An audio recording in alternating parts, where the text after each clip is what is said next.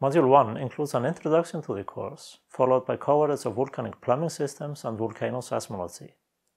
The introduction explains different types of eruptions and how this course on volcano monitoring and magma movements can help understand what happens inside volcanoes, both prior to and during eruptions. Iceland, as a laboratory area for volcanology, is introduced. We discuss volcanic landscape and what lies beneath the surface of volcanoes.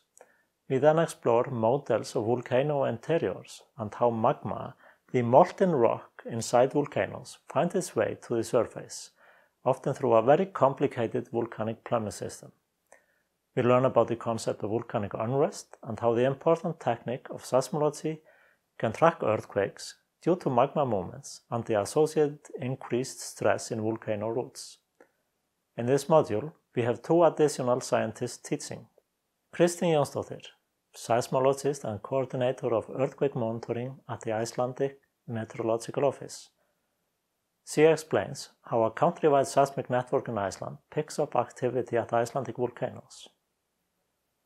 Páll Einarsson, Professor Emeritus in Geophysics and Seismology at the University of Iceland. He has studied earthquakes and beginning of all eruptions in Iceland for decades.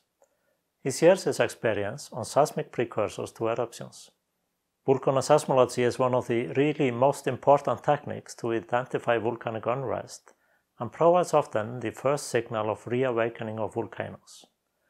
At the end of this module, you will understand why. So let's get started.